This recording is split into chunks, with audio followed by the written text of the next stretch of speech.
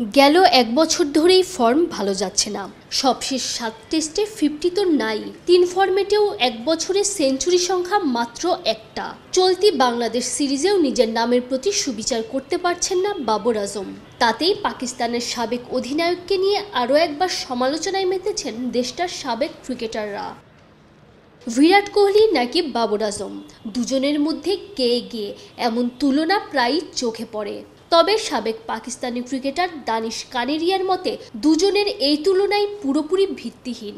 বিরাট কোহলির ধারের কাছেও নাই বাবুর আজম। স্পোর্টস টককে দেয়া এক সাক্ষাৎকারে এ বিষয় নিয়ে রীতিমতো ক্ষোভ ঝেড়েছেন দানিশ। জানিয়েছেন, দুজনের মধ্যে তুলনা করা দেখতে দেখতে তিনি নাকি একেবারেই ক্লান্ত। সাবেক এই স্পিনারের কাছে কোহলি অনেক বড় মাপের খেলোয়াড়। দানেশ কানেরিয়ার দাবি কেবলমাত্র দুই ক্রিকেটারের ভক্তরাই নন। চ্যানেলের ভিউ বাড়াতে গণমাধ্যম কর্মীরাও কোহলি বাবরের তুলনা দিয়ে থাকেন যা পুরোপুরি অগ্রহণযোগ্য। এটা চিপস। বিস্কিট বিস্কিট আপনারা চিপসকে বলতে শান্ত চিপস নাকি বিস্কুট খেয়ে বুঝে না।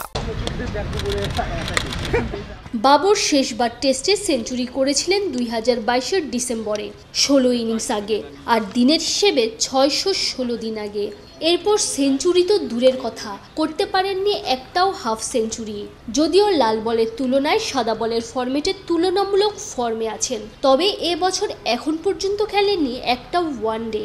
রাওয়ালপিন্ডির প্রথম টেস্টেও বাবরের দুই ইনিংস থেকে এসেছিল শূন্য আর বাইশ রান। দ্বিতীয় টেস্টের প্রথম ইনিংসে করেছিলেন একত্রিশ রান। দ্বিতীয় ইনিংসেও আউট হয়েছেন এগারো রানে। তানজিম ঐশী অলরাউন্ডার।